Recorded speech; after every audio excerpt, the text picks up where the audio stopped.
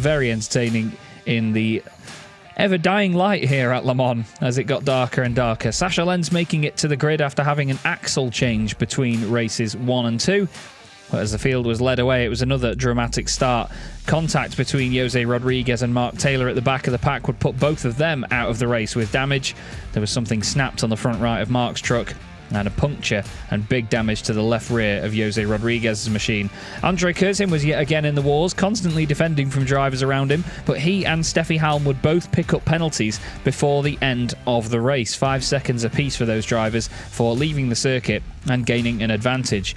Jose Eduardo Rodrigues was working hard, defending from the three titans of the championship, Norbert Kiss, Jochen Hahn and Sascha Lenz, but eventually would succumb to the pressure. That's not without a little bit of contact from Jochen Hahn, who sent it up the inside into the long sweeping right-hander.